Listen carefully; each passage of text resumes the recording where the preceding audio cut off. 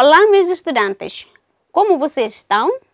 Espero que todos de vocês estejam de boa condição. Hoje encontramos novamente comigo no nosso programa Telescola, na unidade curricular da Biologia do 11º ano do ensino secundário geral.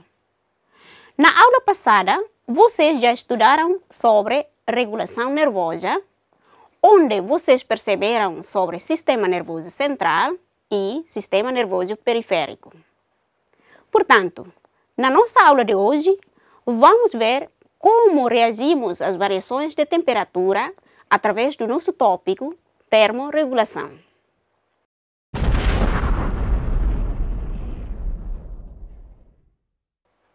Primeiramente, vamos ver o que é termorregulação. A termorregulação pode ser entendida como um conjunto de mecanismos que estabilizam a temperatura do corpo de forma a mantê-la dentro de valores compatíveis com a vida.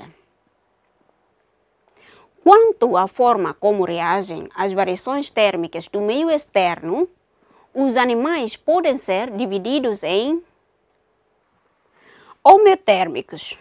São termorreguladores, mantendo a temperatura corporal num intervalo estreito de valores. Por exemplo, os mamíferos.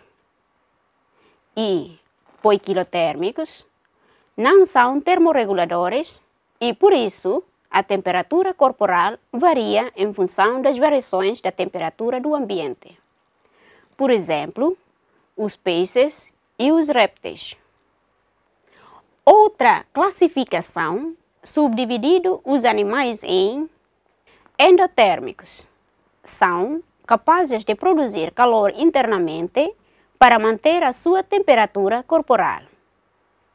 Exotérmicos ou ectotérmicos não são capazes de produzir calor internamente, pelo que sua temperatura corporal depende da temperatura do ambiente.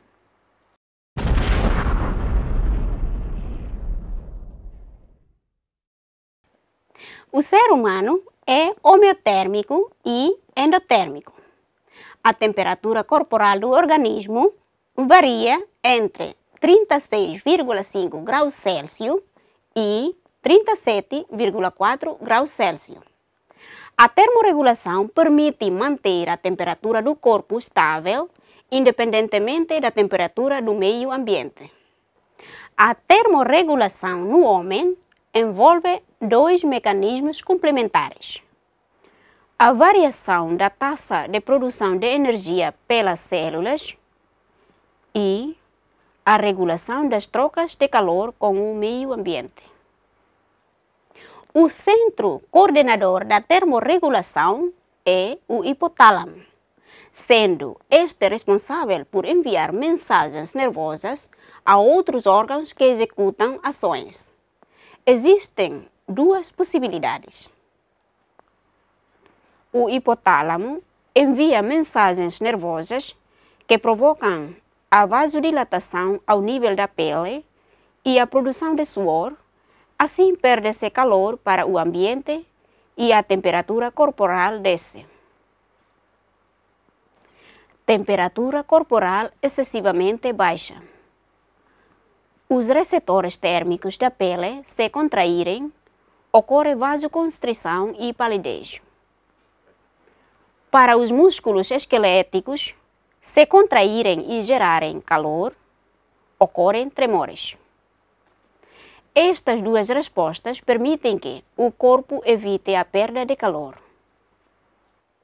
Meus estudantes, isto foi a nossa aula de biologia que acabamos de aprender.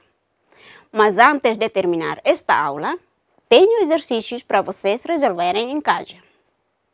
Qual é a diferença entre homeotérmicos e poiquilotérmicos?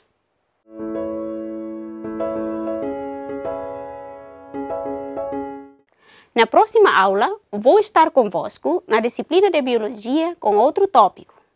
Bom estudo e até mais!